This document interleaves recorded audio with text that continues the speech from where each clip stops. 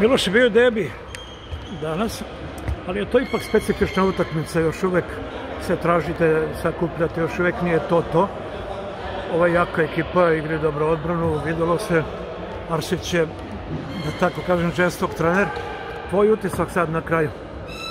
Jeste, a, svaka čast protivničkoj ekipi, a, bila je odlična utakmica, vodili su većim delom, a, ne znam, malo mi je krivo što mislim da su mogli i, i malo bolje da, da, ovaj, da, da to bude još neizvesnije na kraju, ali šta je to pripremna je utakmica, tako da...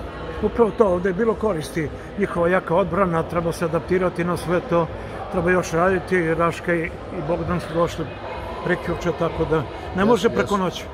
Jesu, ovaj, mislim da sad kada se, kada se svi skupimo na treninzima i, i, i počnemo svi zajedno kao, kao tim da treniramo, mislim da će sigurno doći sve na svoje i da će, da će to biti bolje.